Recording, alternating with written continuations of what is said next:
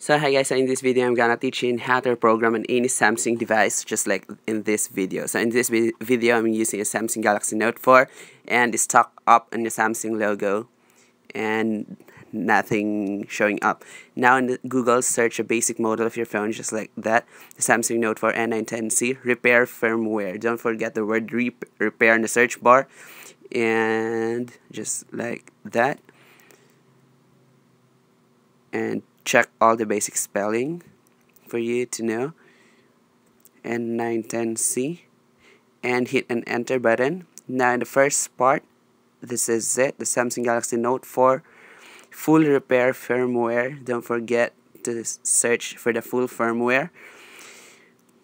Now hit the download button just like in this video. So fix uh, fix read an instruction all of the features for you to know. So hit the download button just like in this video. Samsung Galaxy Note 4 full firmware. So anyways click to continue to proceed. Now you need to wait the 10 seconds for for this to activate the download button or the get link button for you. Just wait. So after you select it you need to download the file just like in this video now it's searching for a mirror app. Now in the Virginia USA just like that Virginia USA now select the download button. Now you have to wait for a couple of hours to finish the download then 1.7 gigabyte of storage. Now the second file needed to download was Odin file just like this search an Odin and file download just like in this video. Now select the first one just like that I'm gonna put the link below the description for you to know. Now I'm gonna use an Odin file for the 3.10 3.0.9 it's like in this video. Any any Odin version will work for this method. Don't worry about that, that guys. Now I'm gonna select an Odin file for 3.0.07 and select the download button now wait for it to download. Now head over to the download file categories in the file explorer. Now select the download. And extract the two file.